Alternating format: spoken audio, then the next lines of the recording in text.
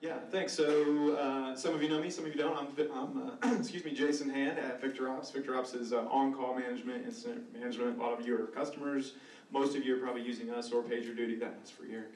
Um, and um, anyway, it's great to be here. So yeah, I wanted to talk about using uh, systems thinking um, to approach feedback. So the you know the benefits that you get from taking the systems thinking model and actually uh, applying that to just the, the, sort of human interaction feedback. So I thought we'd sort of unpack uh, some definitions here, some terms. When I say system, I'm just talking about really system in the very basic sense, right? So just the interacting of uh, or in- interdependent components forming this quote unquote whole. So that's the system that I'm talking about. And then when we talk about feedback, I'm actually referring to, um, we talk a lot about feedback loops within DevOps. Obviously, it's a big part of the monitoring and alerting and that kind of thing. But, but today, in this talk, I'm just talking about the feedback we have with each other. So, because the human part is just as important as the technology part. And then, of course, systems thinking, we've actually heard a little bit of about it today already. Systems thinking is something that comes up a lot in DevOps because, again, through the feedback loops, we want to start to see all kinds of different angles, all kinds of different perspectives, so that we don't get this really skewed outlook on any particular one thing. Um, and the thing is that without systems thinking, without sort of taking this approach, we actually start to uh, create our own mental model of a reality that really isn't containing all of the truth, doesn't contain the actual clarity of, this, of the situation itself.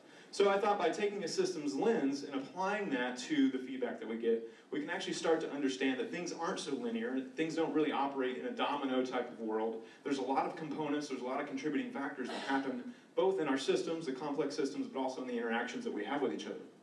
So, in this talk, I've got five key benefits. A lot of them are going to be pretty obvious, a lot of them are things that we've heard about before. Um, and then I'll follow that up with some suggestions on how you can start thinking about uh, your feedback that you're giving and taking uh, with systems thinking. So accuracy, that's probably the most obvious one. As you start to collect a lot more information, as you start to look at your world and look at feedback in this more holistic approach, obviously things become a lot more accurate. You start to remove cognitive bias, you start to remove just a lot of different things that don't need to be a part of that feedback. We talk a lot about blameless, especially in the post-incident analysis. Blameless post-mortems are a lot of big thing.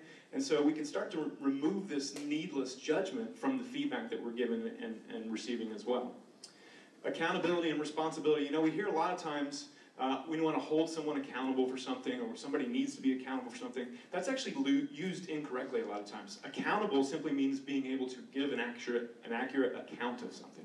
Responsibility has some sort of ownership to it. So keep in mind those are two different things. And then blame is sort of, you know, tied to judgment a little bit, but we're really bad about blame. We're sort of wired to give blame. We're sort of wired to even accept blame and say, hey, you know, that was my bad. I'm sorry about that. And we can actually start to remove those types of things that just really aren't helpful when we're trying to give and receive feedback. And then, of course, last, um, the, the you know fixes that fail, sort of temporary fixes. That's also part of conversations. We tend to just say something just to sort of move on, uh, and that's not you know necessarily good for uh, good giving and receiving of feedback. All right, so hopefully you're, you're drinking this Kool Aid. You're like, yeah, I get it. I understand systems thinking. Awesome. We've heard a lot about it today. How do we do this? So there's three questions I think if you just sort of try to keep this in mind, and I'm not going to lie, it's really hard to think about this in terms of feedback. But the first one is, what are the differences between you and I, or what are the differences between you and your coworker, or whatever the case is? And those could be simple things, just like age, gender, um, are you left-handed or right-handed? All those kinds of things are actually something important you have to think about. The second question is, what about the roles? You know, we talk a lot about developers and operations and all the different IT units, but what are those different roles doing to our own perspectives as we start to go back and forth with, with the feedback? And then the last one, what about the different responsibilities? What about the different policies? How about distributed teams? All that kind of stuff actually does affect and impact our, our feedback that we're giving and receiving. So think about how that's going to start playing a role in your communication and your, and your feedback as well.